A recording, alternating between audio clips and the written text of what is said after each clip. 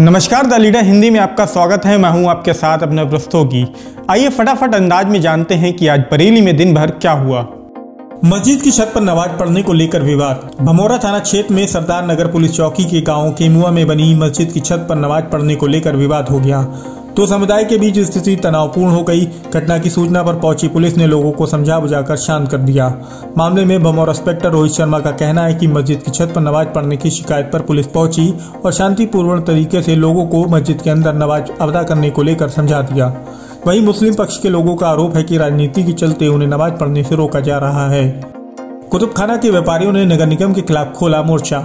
व्यापारी सेवा संघ ने शुक्रवार को कुतुबखाने पर बैठक करी। इसमें व्यापारी नेता नदीम शमसी ने कहा कि फ्लाईओवर का कार्य शुरू होने के बाद बाज़ार में ग्राहकों की संख्या कम हो गई है। उधर नगर निगम ने कुतुब खाने के व्यापारियों की दुकानें सील करने का फरमान जारी कर दिया है।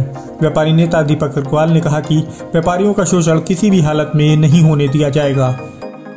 अवैध कॉलोनियों पर गरजा बीडीए का बुलडोजर। बरेली विकास प्राधिकरण की प्रवर्तन टीम ने शुक्रवार को Nainital road, Pilibhit bypass, Dora road, Bhuta road पर अवैध कॉलोनियों को बुलडोजर से ध्वस्त कर दिया।